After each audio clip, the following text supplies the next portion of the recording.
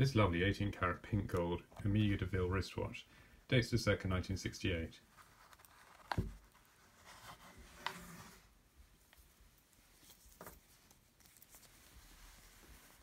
The watch has a silvered satin finished dial and are applied pink baton indexes and a framed aperture for date.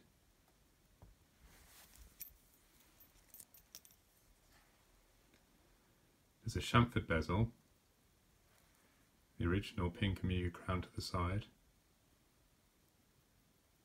Case back has a satin finish to the centre. And the watch is also fitted to its original Omega leather strap. This is signed. And also fitted with the Omega pin buckle. This is an automatic model, so it'll wind itself as it's being worn. However, if it's lain dormant for a period of time and needs to be restarted, this can be achieved by turning the crown away from you a few turns, which will be enough to get the watch started. Hand settings adjusted in normal manner. Just pull the crown out and turn the hands to the desired time.